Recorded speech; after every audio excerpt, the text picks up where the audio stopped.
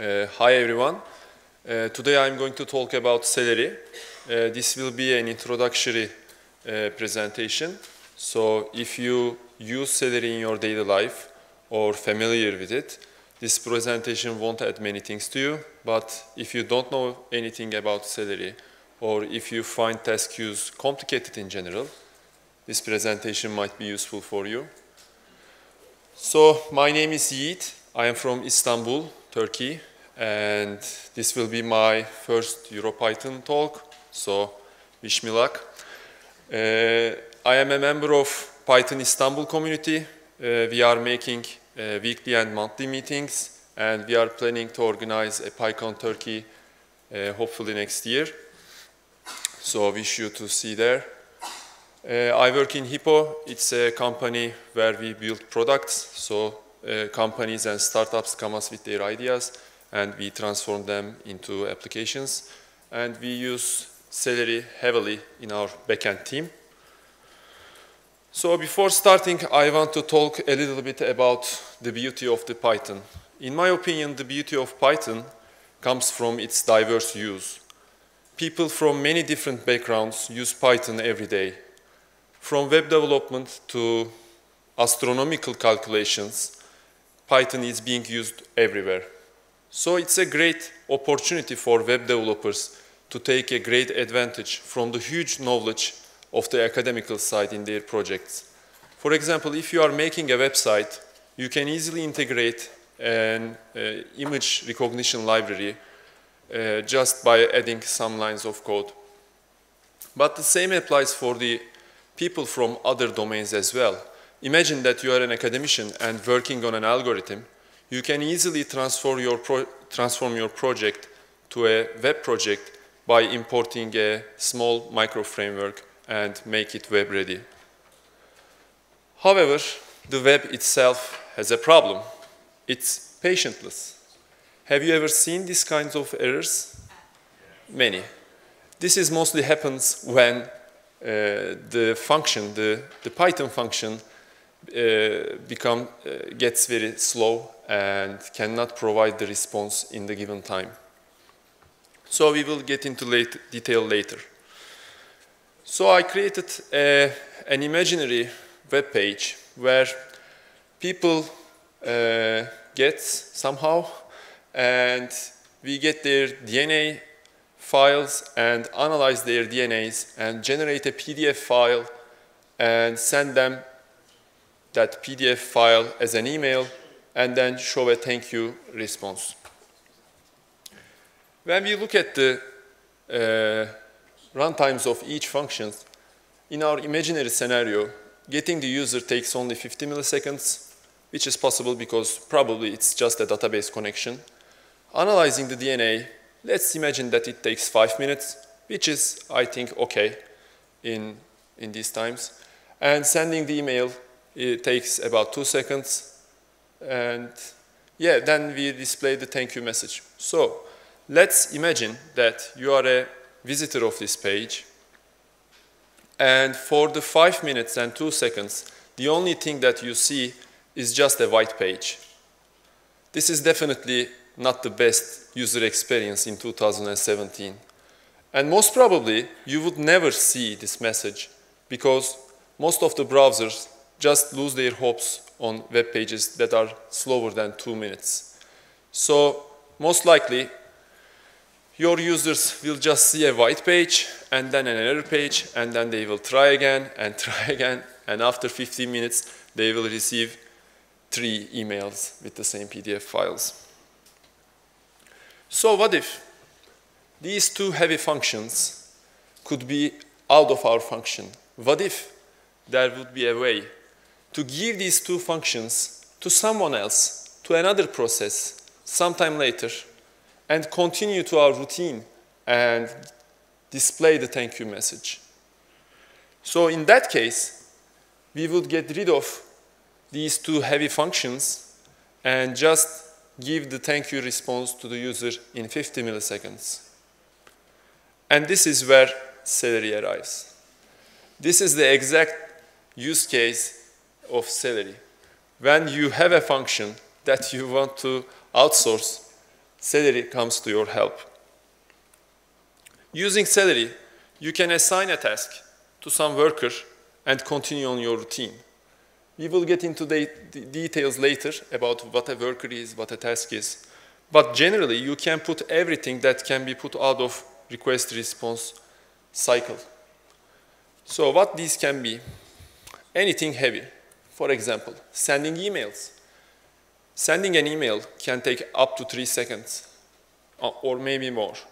Or sending push notifications. Imagine that you, are, you need to send 100 push notifications to different people just as a result of, a, of an action. Resizing and editing images are always a pain, especially when you deal with high resolution images and third-party uh, data storage solutions like S3, and they are the most common reason of 502 errors, in my opinion. And there are also some tasks that take time, like taking backups, denormalization, and data sync issues with uh, third-party integrations. This is an exemplary Celery architecture. Uh, here we see that we have an application, we have a message queue, and we have one or more workers. So this is, we will see these slides uh, many times during this presentation because this is the basic Celery architecture. We don't uh, care for the result database or anything. This is the simplest possible implementation. So let's look at each element and analyze what they do. The application is our main application. I mean, in this case, it's our view controller function. So this is the part where we want to make it faster. This is the part that wants to outsource some of its tasks to someone else. But it can be? It can be a website or any kind of project. Celery has a great support for applications uh, because an application just need to give the function name that uh, it wants Celery to execute and provide necessary arguments. That's all. The application should give the function name, take the arguments, Celery will transform them into pickle or JSON string and record it to the database. Celery has a built-in support for Django uh, because once it was a Django project, now it's open to all Python projects. It has support for Flask, Bottle, Pyramid, and Tornado, and many other frameworks. It even has support for PHP. So if you are writing a PHP, uh, PHP program, you can also use Celery because all you have to know is the name of the function that you should you want to run and the necessary arguments. So you can even serialize with JSON through a PHP project. And the task queues, this was the main huge thing you see in the middle. And this is very important because Celery needs to record these tasks to a database, to a specialized database, and then process one by one. There are many available uh, task queues. Uh, RabbitMQ, I don't know if you heard of it, but it's a very popular uh, message queue database. Uh, it's, it's the most uh, supported one by Celery, but Redis is also being heavily used with Celery because you can use Celery, Redis in other uh, issues as well. For example, you can use the same Celery instance for the caching of your website and the task management. And there is support for other databases for CouchDB, MongoDB, Amazon, SQS if you don't want to deal with any database. And worker. Worker is a specific term for Celery. You can imagine this as another, another application that is written by Celery guys and it will just work and poll the database if there is an if task. So it will always ask, do you have an if task? Do you have an if task? Do you have an if task? day and night. And when there's a new task, it will mark that task as assigned and process it. So when we look back, we see that the application prepares the task data, which is the name of the function and the arguments. sends them to the message queue, which is a specialized database. And as all databases do, when they record something on their data, on their data storage, they give an ID. So it gives back the ID so that the application can track the status of that task. Is it processing? Is it processed? There, is there an error or what? And there might be one or multiple workers, but we should have at least one worker to process these tasks in the queue. And they can be anywhere. They can be in the same instance. They can be in different uh, physical machines, different, different locations. So let's move our heavy tasks to Celery. You remember our example. What we want is to get user DNA information, prepare a PDF file, and email that PDF file to the user. Before doing that, the first thing that we should do is to set up a broker database. This is the biggest dependency of Celery, and for this example, I decided to use Redis uh, because it's very commonly used. And also, we should install Celery through pip. It's the easiest part. And then let's look again what we are going to transfer. We are going to take these two functions and give it to Celery. So we create a new file named tasks.py and we create a function inside. So what we do here is basically we have a function that calls these two functions. So when I call this function with DNA file and email, it will first analyze it and then send email with the attachment. Uh, in order to make this as a Celery task, we should import Celery and define a Celery application.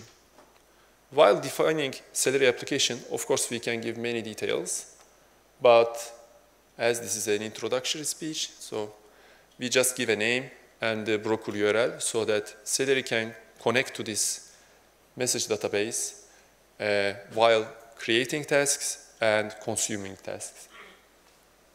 But this is not enough. We should define that this function belongs to Celery.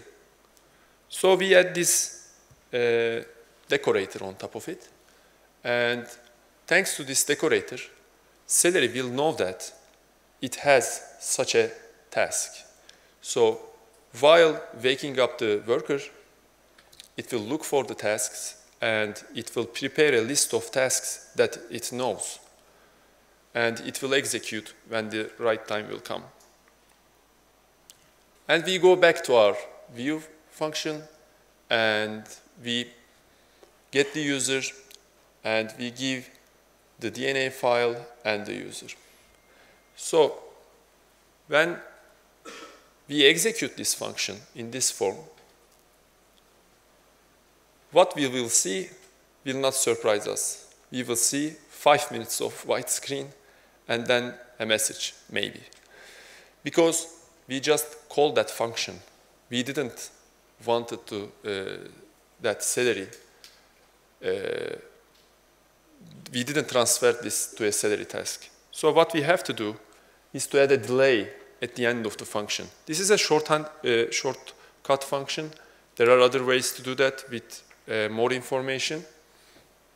But when we add this delay at the end of the function, the Python will not run this function, but instead of it, Celery package will create the task by the function's na function name and the two arguments we sent and record it to the database. And as soon as it, it gets recorded to the database and gets the ID, it will continue to its routine and display the thank you message. So as Redis and other databases are quite fast, maybe in, in a couple of milliseconds, it will pass that part and display the user a nice message. So the user will not wait for that task. It's nice. The user is happy, uh, the message, but he will not receive the message. If he wait five minutes, 10 minutes, a day, there will be no email in the inbox. Why? Because there is no worker yet. we recorded it into the database. We know that we have to execute this task, but there is no one to execute. So we should wake up a worker. This is the easiest way to uh, wake up a worker. This, uh, I open these log levels to better visual, visualization. And if we type this function and we have Celery installed, this, is, this will be what we see. By the way, in Celery, if you don't see any red lines, this means that you are very lucky, everything is okay. It connected to database, everything is good. And here you can see the tasks. You see there is a list of tasks. So this item uh, is known by Celery. So if Celery sees such a task, it will just go and execute it. And as soon as we run the Celery worker, we will see this line because we already recorded a new task in the task database and it will receive the task and start working on it. And after about five minutes, we will see the completion message of this task. This is just five minutes because I just put some sleep functions inside. And another nice part about Celery is that, as you know, some, there are some functions that can create problems, especially third-party integrations. When you make an integration with an email service or an integration with a push notification service, there is a great chance that they can, they can have some technical problems. And if you do this in your view controller functions, this will mean that your website will, uh, will crash because of the third parties. And if you put everything inside a try function, it will not give error to a user, but it will not make the job. So one of the biggest advantages of using Celery is that you can just retry tasks. For example, you can set a task retry limit. For example, you can say, retry this task three times by waiting one minute before each trials. This way, you can improve the chance of executing your uh, required tasks. Also, Celery tasks can create new tasks. So if you will iterate over thousands of users and send them emails, you don't need to do this in once. You can just have a function that generates other Celery function, Celery tasks. This way, when you iterate over a list and generate thousands of new tasks, the workers will go on one by one over these tasks and execute them. And if one of them fail, only that little one will be executed again. This is a huge advantage, especially if you are dealing with emails, because the worst thing that can happen to a developer is not to shut down the server, but send wrong emails. Because if you shut down the server, only the people who are on the site will see that you did some bad things. But if you send wrong emails, everybody will see those emails. Or push notifications, they are the same. So Celery is quite useful on handling these kind of erroneous situations. And in Celery, there is also a great uh, tool that we frequently use, periodic tasks. In my opinion, any website or any project sooner or later will require periodic tasks. In order to run periodic tasks, we have a tool named CeleryBeat. It comes inside the Celery package, and it's quite easy to set up. However, many people confuse CeleryBeat because they think that if they have workers alive and if they define the CeleryBeat periodic tasks, everything will work smoothly. But in fact, that's not true because workers just accept tasks or they cannot uh, invoke uh, new, new tasks by themselves. So you can, you can think CeleryBeat as a separate application that sends tasks to the message queue. So you should imagine just like your application. So you have to keep your application alive using supervisor or something like that. And you have to keep your workers alive. also you have to keep the celery beat process alive. There are three types of schedules. Uh, time delta schedules are the easiest one. You just give a time interval and the task just runs. This is dependent to the start time of the uh, celery beat. So if you start celery beat 30 seconds after the task will be initiated, 30 seconds after the task will be created again, so and so forth. If you have if, if you need to have more control on when the task will be fired, you can use crontab schedules and you can say, send this, uh, do this thing at this time. For example, in this case, we are sending email digest every Friday at 5.30 p.m. And it's that easy to implement this.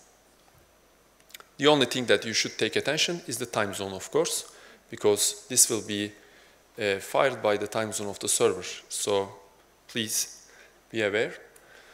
And there are solar schedules as well. If you want to fire tasks by the position of the Earth and Sun, you, you can use this one. For example, if you want to fire an if task when it's sunset at Istanbul, you can just give solar, sunset, and the coordinates of Istanbul, and it will send a new task just at the right moment when it's the sunset at Istanbul. There are different types. So there are dusk civil, dusk nautical, dusk astronomical. So if you have time, you can check all of these and find the best one. There are great additions. The, the one that I want to talk will be Flower because I don't have too much time. Flower is the tool to monitor your celery workers, how they do, is, uh, are they processing the tasks. So I strongly suggest you to use Flower if you use celery. And some last words. It's a great and simple tool uh, for time-consuming tasks. I know that there are many people who hate celery. I think they have a club of celery haters. But I think this is mostly because old versions, the new version, especially the version 4, is quite stable. And if you had bad experiences with Celery, I suggest you to give it a try again. You, won't, uh, you will be surprised. You should, uh, you should never forget that arguments will be serialized and then saved, so never pass Django models as an argument because they will be serialized as a string and if you do that, you will have problems uh, corrupt data problems and everything. And Celery sometimes is too easy to cover architectural problems. So imagine that you have a faulty architecture and you just remove everything uh, or you make too much denormalizations. And then instead of fixing this thing and removing the denormalizations, you can easily get into the trap of using Celery to uh, prepare those denormalizations, uh, it will be a bad decision, so please avoid that. So I think I'm in time, and thank you.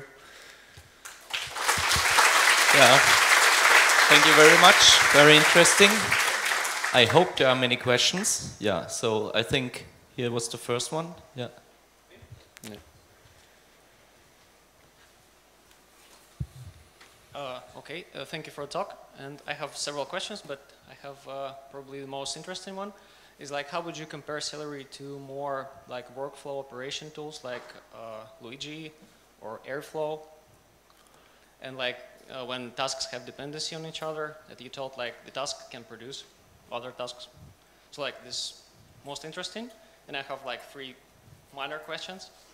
Yeah. Should I ask him Right. Personally, I didn't use those, the other ones, so... so I, you don't I, know? Yeah. Okay, and uh, the question for a queue, you told that there are several backends supported, and does Celery try to normalize uh, some guarantees for queues? Because like you mentioned SQS, and SQS doesn't guarantee order, mm -hmm. and also it doesn't guarantee exactly once rule for task queue. Mm -hmm. And like, uh, what if, if you use SQ, SQS as is, there is a chance that uh, two workers, workers will receive one message. Yes, we experienced many problems with SQS and for, for six months we used SQS in many projects, but we had many problems with Celery. I don't know why, but they just didn't work or the problems that you mentioned happened. Mm -hmm. The same task uh, receiving by two workers, so we, we went back to RabbitMQ. With RabbitMQ, it's quite easy to set up and you feel that it's the, it's the original one that is written for. So if you have big queues and if you have complex queue operations, I strongly suggest to have RabbitMQ, not Redis, not anything else, uh, but RabbitMQ or a similar me specific message queue uh, system. Okay, and like another question is about crontab scheduler, mm -hmm. because your example was very simple, but for instance, in normal cron, at least in standard, standard cron, there are issues with schedules like last Sunday of months. We didn't experience any problem. I'm using for... So like, is it based on cron or like it's a separate implementation of cron scheduler? My, as far as I know, it's a separate implementation, but the biggest problem with cron tabs is that when you change one of the schedules, as it records it to a text file, the last uh, runtime, uh, it creates problems. So it might be possible that it is being fired before you want. So what I do generally at the beginning of each Celery task that will be fired by a cron task is to add a control key and add something to Redis with some expire time and make sure that it will never ever run before time. Especially this is crucial in, in, in mailings because for example if you want to send a mailing at Friday and you change the time in Monday, you, it just gets fired. So uh, we add control blocks at the beginning of the tasks. Okay, and final question uh, about your, you had an application uh, object of Celery at import time. You so instantiated in import, import time. Does mm -hmm. it have side effects of like creating connection when just you import, when, when you create an instance? Or yep. it's lazy? I didn't experience any problem. Like, because like when you start testing it, you have import side effects. And import yep. side effects is generally bad practice. Yeah, but I didn't experience any bad any okay, problem. thank you. Thank you. Next questions? Next questions? Yeah. Let's do something for diversity.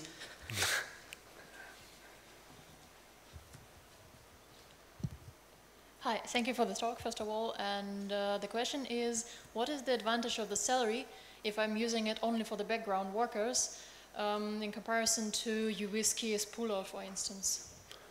Uh, in my opinion, the biggest advantage is that you can use Celery from anywhere, so you don't need to uh, you don't need to operate with only a single thing, and you can send tasks from various locations. You can use I don't know if that supports, for example, periodic tasks. So if you have a Celery installed in your architecture, you can just use it in, in many tasks as possible. And also, I don't know if they have retry or not. They have. I didn't know. Okay, so I think one more question, and I think he's still over there, so I think you can ask him all the questions. I'm pretty sure you will. Yeah. Okay, so